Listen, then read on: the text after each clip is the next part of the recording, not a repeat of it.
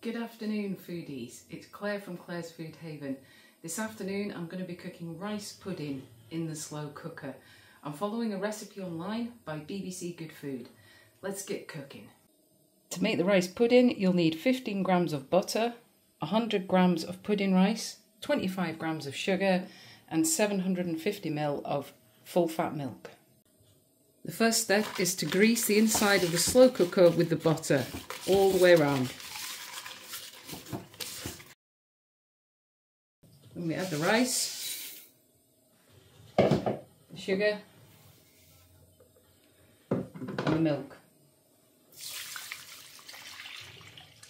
And this is going to do four servings.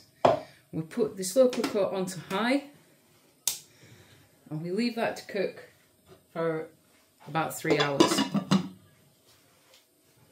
The rice pudding has been cooking for just over two hours now. Ooh. I'm going to give it a stir, just see how it's doing. There's still plenty of liquid in there. Ooh.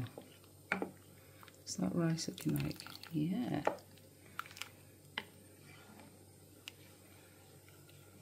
I think it needs another hour or two in there. The rice pudding's been cooking for three and a half hours now. It's looking much better. It's looking like that milk has really reduced down quite a bit. So it's been cooking for 15 minutes on low, so I'm just going to give it a stir. Oh, it looks great. I'm going to turn the slow cooker off now. Oh, lovely. Oh, thick and creamy rice pudding.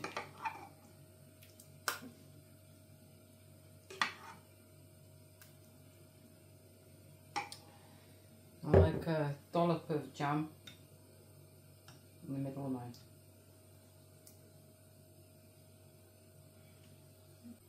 Rice pudding cooked in the slow cooker.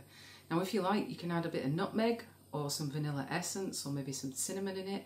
This hasn't got any of those extra flavourings in it so I'm just going to give it a little taste with this jam that I've got on the side here.